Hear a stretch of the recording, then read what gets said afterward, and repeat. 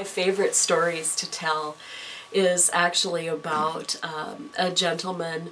who never married and never had a family, but who was deeply grateful for the fact that his parents had raised him in the faith with a strong commitment to the work of the church and also had given him uh, his opportunity to get a college education and, in fact, move on and get advanced education. And he was so attuned to the fact that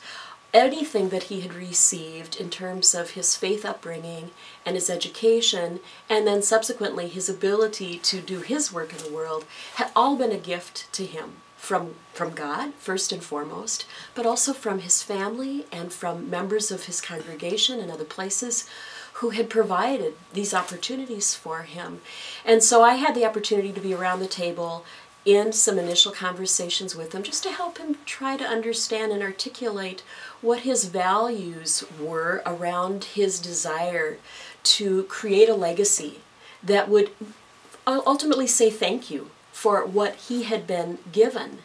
And what we ended up doing was helping him put together a plan that would create more income for him during his life, a gift called a charitable gift annuity, and then ultimately provide a remainder, a gift at his death, then for his congregation, the congregation that he had been a member of most of his life, the congregation that he had been raised in,